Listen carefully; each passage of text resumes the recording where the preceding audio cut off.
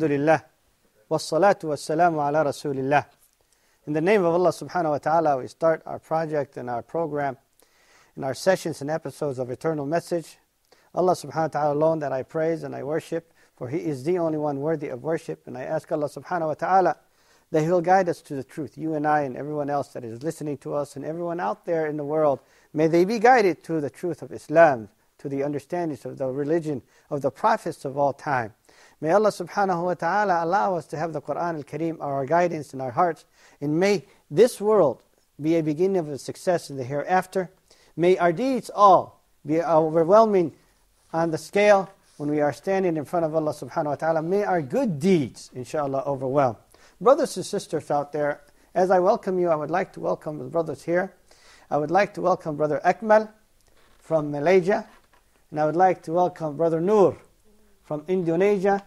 And I'd like to welcome Brother Abdul Fattah from the United States. Are you okay, Abdul Fattah? I'm doing good. Alhamdulillah. Alhamdulillah. Alhamdulillah. And Brother Ibrahim from Guinea Conakry in Africa. And I welcome you that is sitting in your household or in your office or wherever you're at watching us because it is a good sign that you're watching Al Huda TV because we're talking about Allah subhanahu wa ta'ala and we're talking about the uh, afterlife that concerns all of us. Brothers and sisters, last episode we started talking about the day of judgment.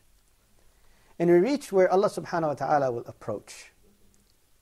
And all of us will be called to do sujood. And those who have performed their sujood in this life, they will do so in the hereafter. And those who did not, their arrogance or their disbelief, they will not be able to do so on that day. But this day is not over yet. There are a lot of events that we would like to talk about and finish. But we'd like to get to the destination. For the series, we have two episodes left of it. This episode and the episode after it. So forgive me if I have skipped some of the things, for I know you have much knowledge to learn, I and yourself. Brothers and sisters, after all of this, the Lord comes and his angels, one after another, name by name. People will be called for questioning. We will hear hellfire near. سمعوا لها تغيظا وزفيرا. We will hear that the sounds and screams of hellfire waiting just to grab whoever is going to come. And we will also see Jannah waiting for its uh, occupants. And we will see the scale that has two hands the right hand for the good deeds, and the left hand for the bad deeds. And then all of a sudden, while you're waiting, you hear your name. Ya Muhammad, Ya Abdullah, Ya Maryam, Ya Aisha. Whatever name that you have, you'll hear your name. The name that was used for you, and you will be called to approach. And you will enter in the presence of Allah subhanahu wa ta'ala alone with no interpreter or attorney to argue on your behalf. And if you were a believer, you would be allowed to raise your head and to see Allah subhanahu wa ta'ala. And if you were not, you will not be allowed to raise your head and you will be forced to have it down. Because Allah subhanahu wa ta'ala will not lift Himself for you to see. رَبِّهِمْ يَوْمَئِذٍ لَمَحْجُوبُونَ That they're covered from Allah subhanahu wa ta'ala. And then the questionings will start. You will be given your book, you will read it, and you have to answer to everything that you have done. And hopefully, you and I will have answers. At the end of the questioning, while you're alone with Allah subhanahu wa ta'ala, the verdict will come. And you will be given the verdict either on your right hand or on your left hand or behind your back.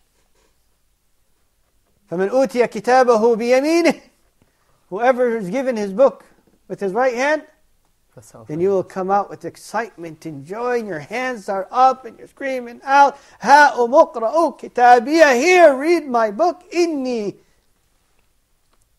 I knew that I would be here today. هَاؤُمُ اقْرَؤُوا كِتَابِيَ إِنِّي ظَنَنْتُ أَنِّي مُلَاقٍ حِسَابِيَ فهو في عيشة راضية في جنة عالية قطوفها دانية كلوا واشربوا هنيئا بما أسلفتم في الأيام الخالية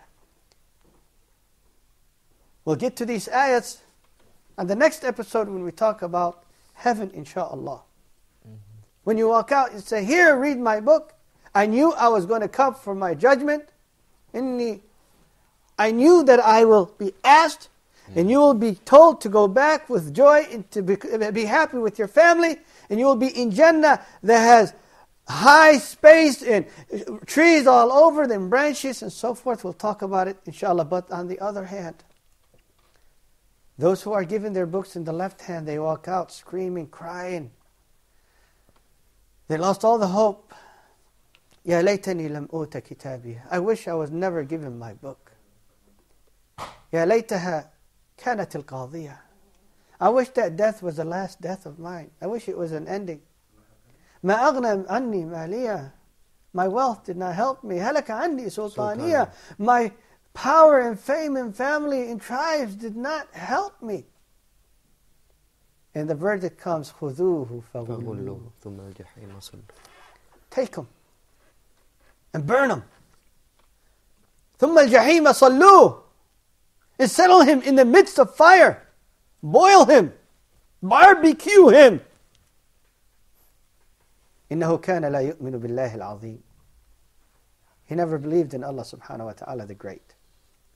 Brothers and sisters, that's the verdict that will come for those who disbelieve.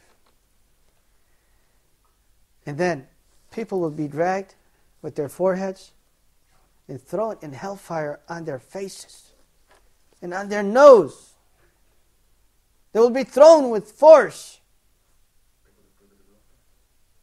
Hopefully, none of us will have to go through that. It's a gruesome life, but I have to share it with you. And I apologize if there's children sitting next to you. But they also need to know. And we'll let them see that the other side, the good side of heaven, so they can prepare. So I know some of what I say might not seem appropriate for some people because it's hellfire. But it's reality. And if you don't prepare your children, then they might be in trouble. Noor, you had a question? Yeah, I have a question. Uh, would you like tells us uh, about the hell's condition in hereafter? As I ever heard that the simplest punishment in the hell is is uh, the punishment of Abu Talib, uh, the uncle of Rasulullah sallallahu alaihi wasallam. Inshallah. We'll talk about that as soon as we ent- as soon as we enter with our explanation about hellfire, inshallah. And it is true what you have just said. That notice that the least punished in hellfire, my brothers and sisters, is the uncle of the Rasul and his punishment is a charcoal that is put under his feet. With the heat of that charcoal, his brain boils. Akmal, you had a question? Yeah. Uh, can can a Muslim uh, uh, be given uh, on his uh, left hand? I mean, the book can. Be, Yes, there are some Muslims that would receive their books with their left hand because their bad deeds overwhelmed their good deeds, and they might be thrown in hellfire mm-hmm. for a period of time. Hellfire, brothers and sisters, is not one level. It's many levels down. It's called darakat. Darakat. Hmm. And hellfire, my brothers and sisters, is basically not always hot. There is a section where it's burning. It's called Jahim, Jahannam, Sa'ir. And then there is another section where it's freezing. It's called Zamharir. Zamharir. Zamharir. And imagine the punishment of being put in ultimate fire. The fire that is 1,000 more of the normal fire that we have today. It needs 3,000 years for the fire that we have to reach the temperature of the fire of hellfire in the day of judgment. The heat of the hellfire in the day of judgment. Then you're taken into the section of Zamharir, where it's freezing. Then back and forth, back and forth. Let me share with you a group of people that would have some punishments Yawm al Qiyamah. How severe it is. And those kinds of punishments throughout the rest of this episode, inshallah. There's a man, a kind of a person, that his intestines will be out of his stomach. Mm-hmm. And he will be rotating around his intestines. I'm sorry again for this gruesome description. May you forgive me and your children. If they can handle it, they can walk out and return when we talk about Jannah in the next episode, inshallah. But he will be circulating around his intestines. Why? Even though he looked like a good man, people of hell will come to him and they say, Weren't you someone that used to call us to doing good? And encouraged us not to, do, uh, to, uh, to stay away from bad? Mm-hmm. He said, Yes, I used to call you to do good, and I did not do it. And prohibit you and discourage you from doing bad, and I did it. He was someone that did not follow his own teachings. Mm-hmm. He'll be going around and around and around and around and around his intestines. Brothers and sisters, after the break, we'll bring a few more examples, probably as gruesome as we just said right now. My intent is to bring to your attention that hellfire is not a place for you. And for you to start preparing yourself to be in another place, a place of heaven. But I need to let it reach you because Allah subhanahu wa ta'ala exp- explained it to us. After the break, we will resume. So take a rest and breathe and ask Allah forgiveness, for may He forgive us all. We will return in a few. Thank you.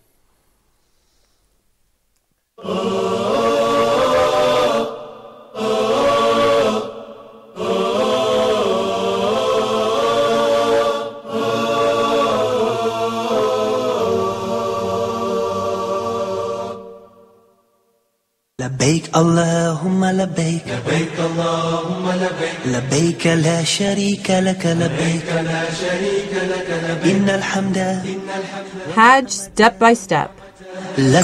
Hajj is a great act of worship performed by millions of Muslims every year. If you would like to know what ihram is, the types of Hajj, kinds of tawaf, permitted and forbidden acts during Hajj, join Dr. Musa McGuire and Sheikh Mohammed Salah in his wonderful show, Hajj Step by Step. But what specifically are, are the benefits of Hajj? Performing Hajj and Umrah overcome poverty and remove sins. The permanent mahram, a person who can never marry to this woman. Uh, what is the, the first rite of Hajj? And is it accurate to say that Hajj actually begins before you even get to Mecca? The ihram of a woman actually is in her face and hands. The very first house of worship was appointed for mankind on earth is Al Kaaba.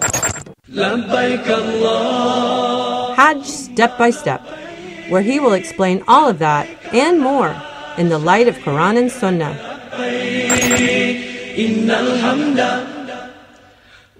Huda, a light in every home.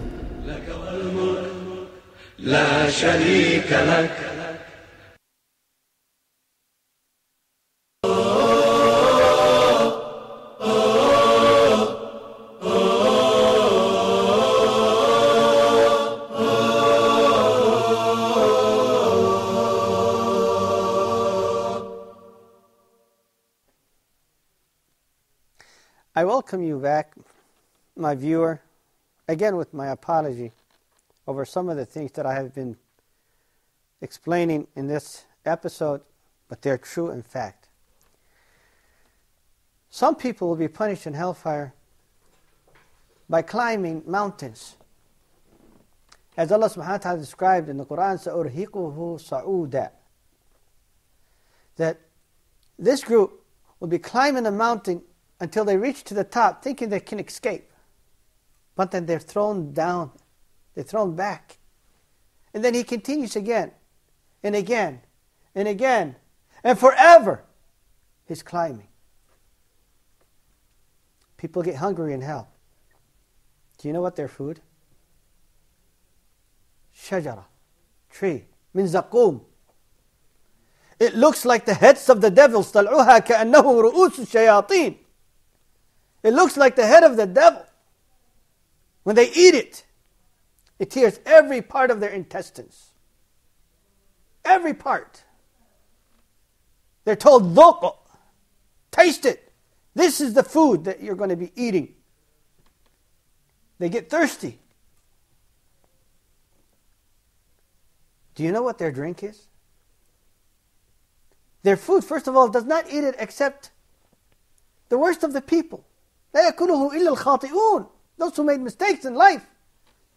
And their drink? There's variety of drinks. There's boiling water. They drink it. And it takes everything out with it when it comes out from the other side.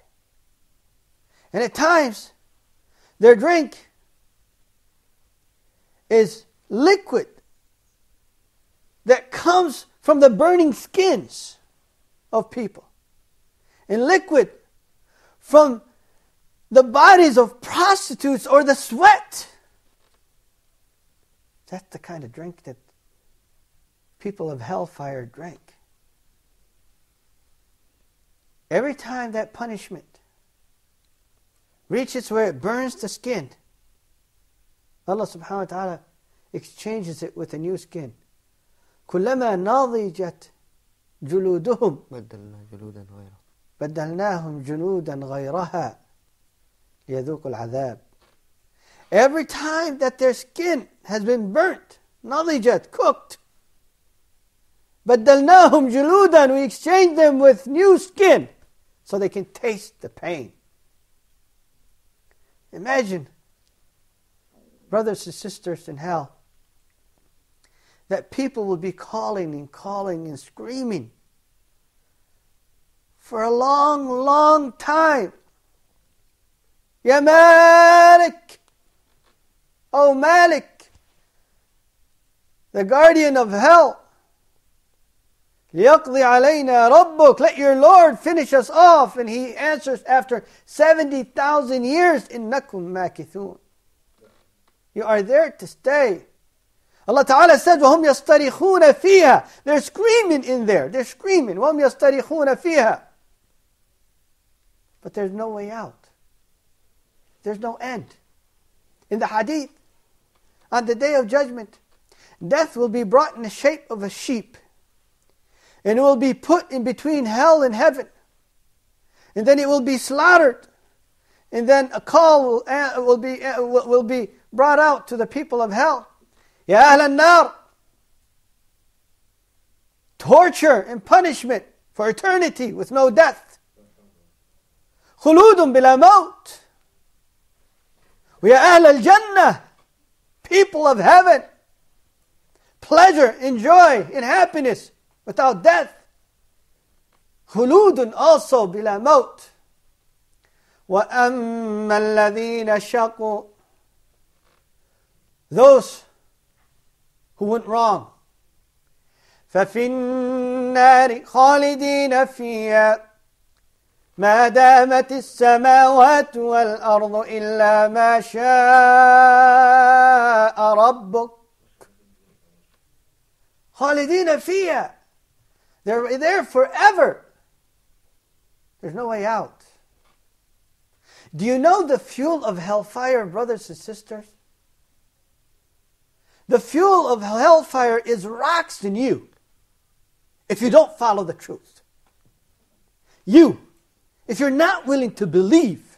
You, if you looked away when you heard the call to Allah subhanahu wa ta'ala. That's the punishment. Punishment with humiliation. Yes, you're huge in hell. The tooth of a person in hell is as huge as the Mount of Uhud. but it doesn't make a difference. It's torture. Sa'ira. Let yourself read Surah Al Qiyamah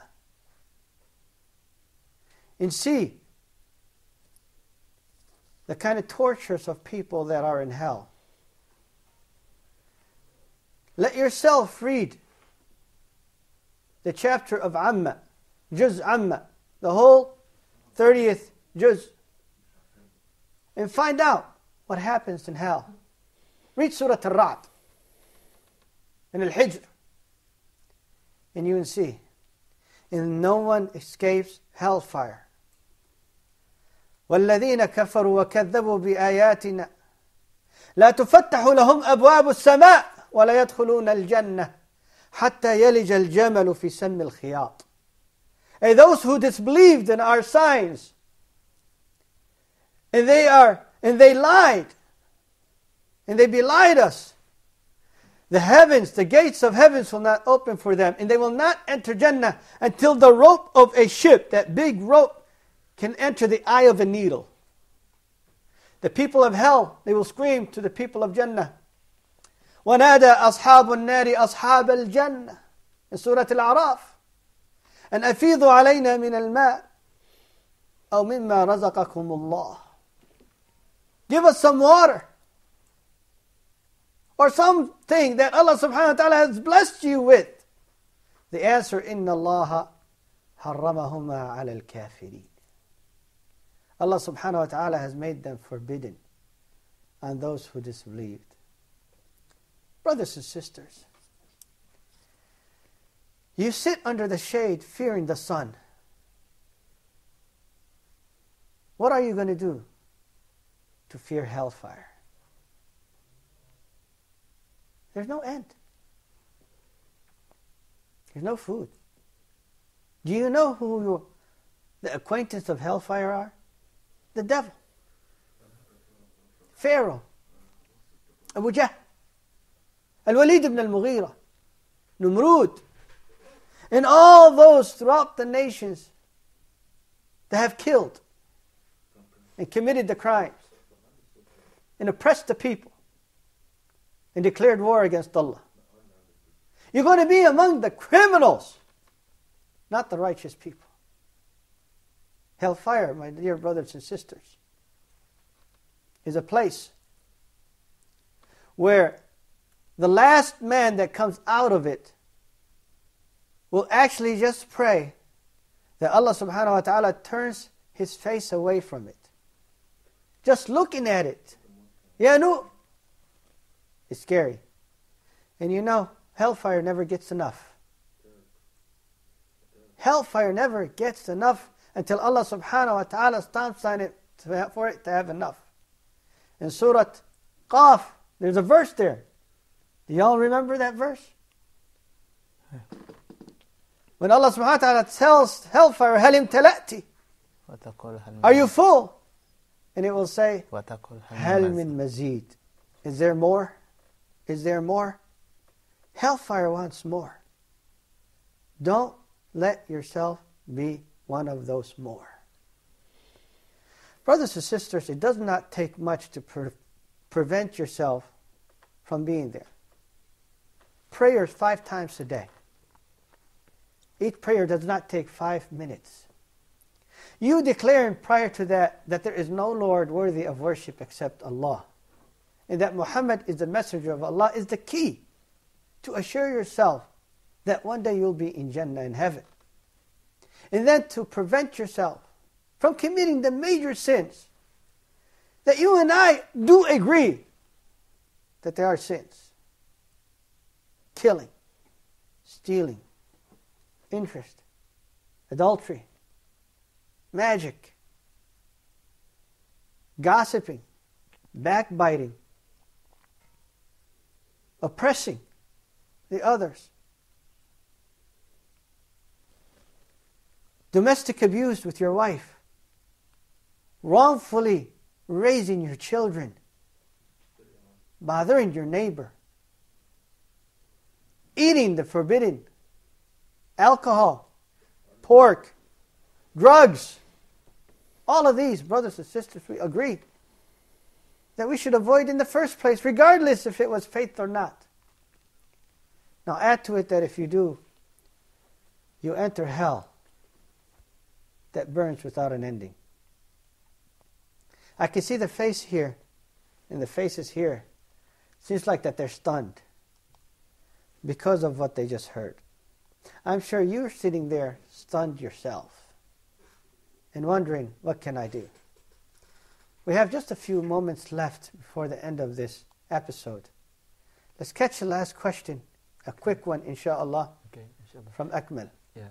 Um, somebody has, has been punished in, in dunya. Uh, can be, uh, are they going to be punished uh, for the second time? It depends on what that crime is.